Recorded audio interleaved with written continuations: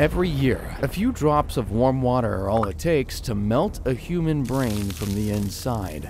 This is caused by Naegleria fowleri, the brain-eating amoeba. Most of the time, it just drifts in lakes and rivers, until one splash sends it up someone's nose, and within days, the person is dead. Ironically enough, once scientists thought it was harmless, now, new research shows it's been evolving for billions of years, carrying ancient tools that accidentally turned it into one of nature's deadliest killers. So how did a peaceful microbe become a brain-eating monster? Should we be worried it's spreading to new waters? That climate change is giving it more territory or that soon nowhere will be safe to swim? Well, to find out for sure, we have to go back, deep into time, to trace Naegleria's strange and brutal evolution. For the first billion years on Earth, everything was single cells, but then came a turning point. About 2 billion years ago, cells learned to organize themselves. They built compartments inside, tiny structures that could store energy, process food, and control what the cell did.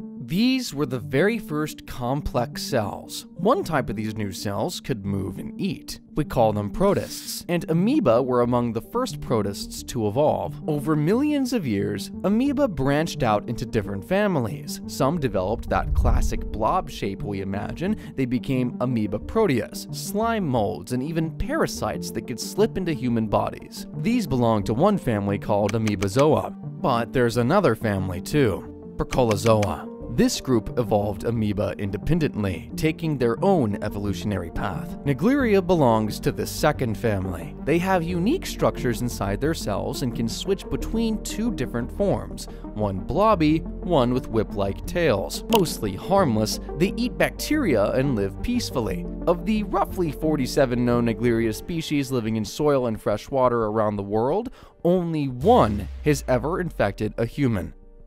N.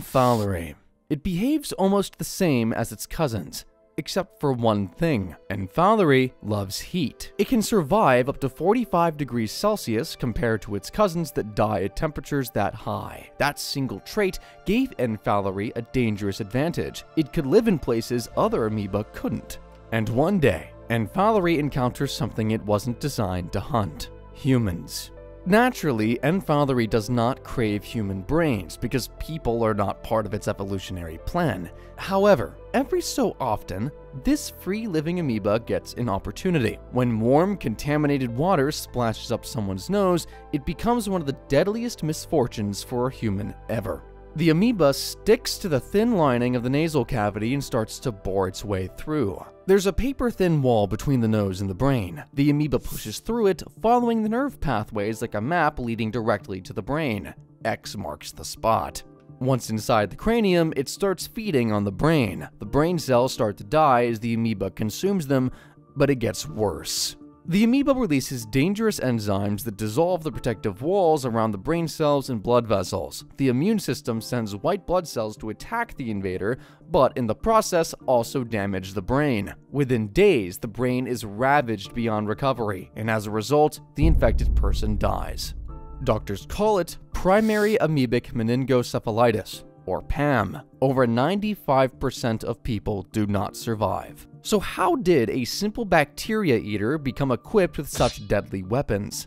In warm water, N. fowleri acts like a normal amoeba. It eats bacteria quietly. But when it enters the brain, its genes switch on differently. Genes that help it move become more active, and the amoeba becomes aggressive and dangerous, using the same genes in a new, deadlier way. N. fowleri also picked up genes from bacteria it ate over millions of years ago. About 2.7% of its DNA came from bacteria this way. These genes taught it how to survive in different places and eat different foods. This flexibility helped N. fowleri adapt better than other amoeba. Inside the brain, N. fowleri does something pretty clever. It feeds on neurotransmitters, chemicals the brain uses to work, and it uses these as fuel. This helps it survive longer inside the skull. N. fowleri also has extra copies of certain proteins. These proteins break down cell walls and pump out destructive chemicals. More copies means more damage. So N. fowleri didn't need new weapons, it took what it already had and learned to use it more aggressively. Other amoeba, like Acanthamoeba, learned to invade brains too, but they did it completely differently. Acanthamoeba and Balamuthia are related to Naegleria, but they're not as dangerous. Acanthamoeba causes brain infections slowly, similar to its cousin Balamuthia, unlike N. fowleri that kills you within two weeks at most. These three amoeba split apart billions of years ago. Each one developed the ability to infect brains completely separately, but their separation was an accident. Scientists have decoded N. fowleri's complete genetic code. The genome is almost identical to harmless amoeba like N. gruberi. The Naegleria family has about 13,943 genes in total. Around 3,563 are in every strain. These handle basic survival. The remaining 10,380 genes vary between strains. Different amoeba have different optional genes. What makes N. fowleri deadly isn't new DNA, it's how the genes are controlled. It's using the same tools in new ways, but the real danger is happening now. Our planet is warming. Cool lakes are becoming warm, swimming pools stay heated year round, water systems are getting warmer. More warm water means more space for N. fowleri, and we're already seeing it happen. In the United States, the amoeba is marching north. For decades, infections happened mainly in southern states, but now it's appearing in places it never reached before. In 2010, a child died in Minnesota after swimming in a lake. In 2011, Louisiana reported infections in areas that were previously too cold. And in 2020, a boy in Texas died after playing in a splash pad connected to the city water supply. The amoeba had gotten into the pipes. The pattern is clear. N. fowleri is expanding its territory. Geothermal springs are becoming hotspots. These naturally heated waters create perfect breeding grounds. Places like hot springs in Arkansas and thermal pools in volcanic regions now carry the amoeba year-round. Industrial sites make it worse. Power plants dump warm water back into rivers and lakes. This heated discharge raises water temperatures for miles downstream. Each warm zone becomes a new home for N. fowleri. Scientists predict the amoeba will keep spreading north as temperatures rise, and drought is also a problem. When rivers run low and temperatures spike, people seek relief in whatever water they can find. These are exactly the conditions N. fowleri loves. Countries once too cold for N. fowleri now see infections, but as N. fowleri spreads, doctors face an impossible challenge.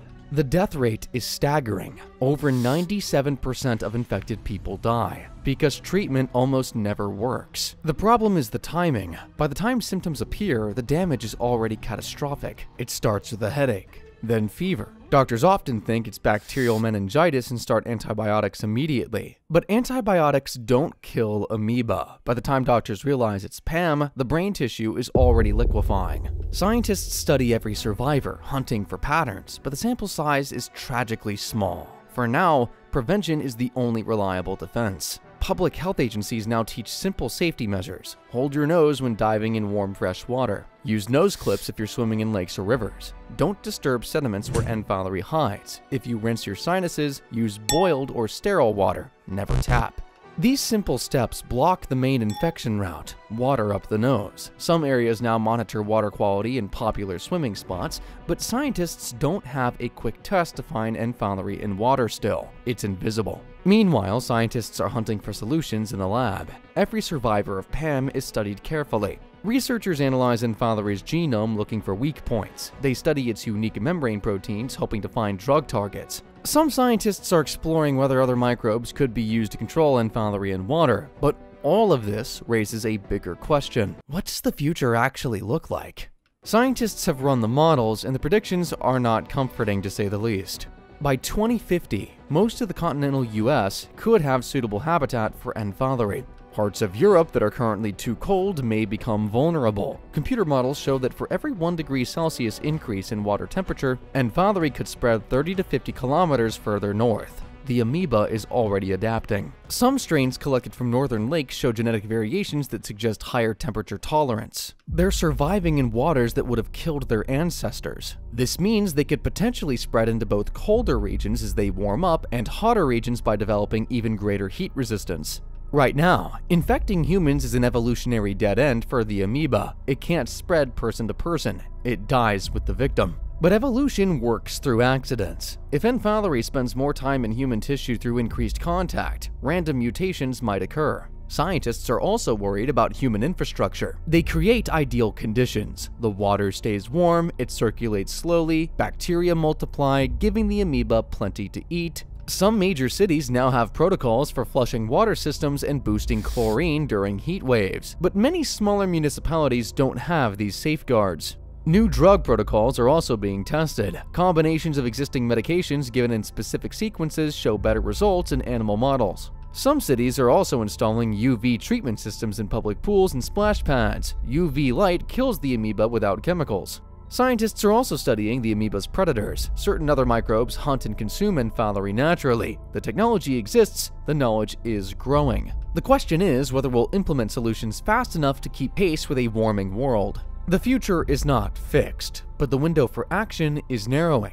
And studying N. fowleri reminds us that evolution does not plot with us in mind. For millions of years, Naegleria fowleri and its free-living relatives have prowled warm waters long before humans ever came along. Their story is a testament to life's ingenuity. A tiny amoeba developed the surprising ability to feast on the richest tissue on Earth, the human brain. But we are only beginning to understand its place in nature. The brain-eating amoeba reminds us that colossal impacts can come from the smallest of creatures. As climate change reshapes habitats, the line between our world and the amoeba's world is blurring. Protecting ourselves means respecting that boundary by taking basic precautions and by monitoring our waters. The more we learn about N. fowleri's origins and evolution, the better we can anticipate and prevent future tragedies. The invisible war between microbes and hosts continues, and we're only just beginning to understand the battlefield. But N. fowleri isn't the only creature that learned to invade. Viruses have perfected something far more sinister. Check out our video on the evolution of viruses to learn more about nature's smallest and most ruthless killers. Thank you for watching.